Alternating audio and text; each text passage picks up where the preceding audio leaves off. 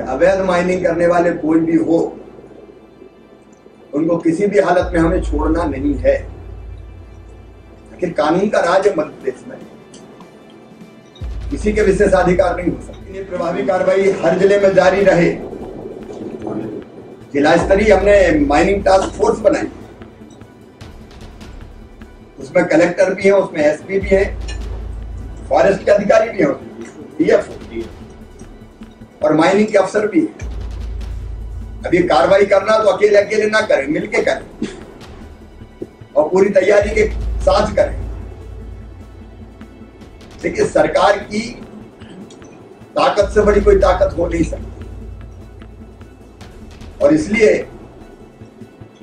पूरी ताकत से अवैध माइनिंग के खिलाफ कार्रवाई आप करें, मैं निर्देश दे रहा हूँ। कार्रवाई हर स्तर पर जारी रहे इंडिया फ़र्स्ट को बहुत बहुत शुभकामनाएँ, नया चैनल, खबरों की दुनिया में, नए आयाम स्थापित स्थापित करेगा।